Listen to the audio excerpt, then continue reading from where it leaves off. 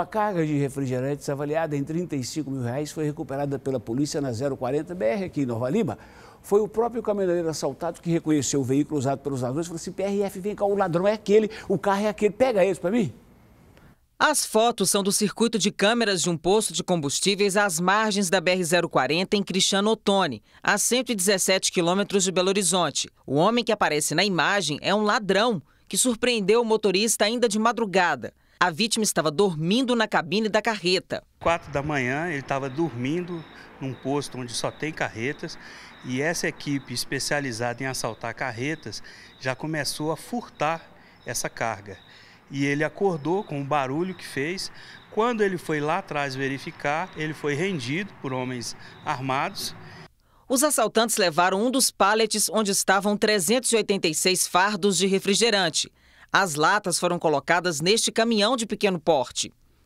Doze horas depois do assalto, mesmo com parte da carga roubada, o caminhoneiro decidiu seguir viagem.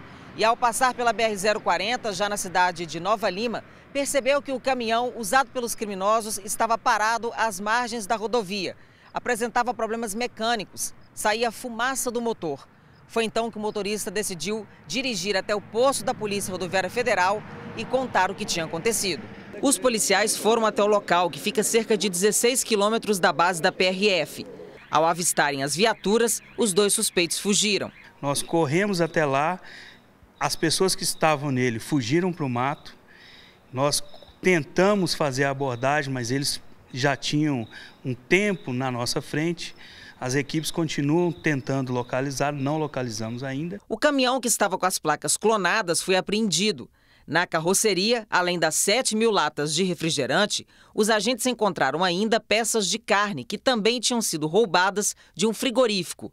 O alimento já estava estragado. Tinha embalagem de um quarto de boi em dois pedaços, só que já estava em estado de putrefação devido àquele baú não ser refrigerado.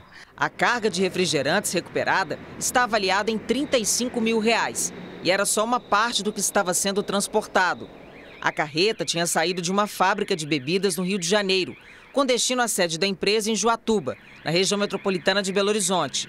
O caminhoneiro foi alvo de uma quadrilha que há muito tempo a polícia tenta prender. Uma quadrilha que a gente já estava atrás dela há algum tempo e pouco a pouco a gente vai desbancando o crime organizado na 040. A PRF espera que a divulgação das fotos ajude na identificação dos ladrões. Pode nos ligar, pode ligar também para a Polícia Judiciária, que vamos colocar todos os nossos esforços para identificar essas pessoas. O telefone da Polícia Rodoviária Federal é 191.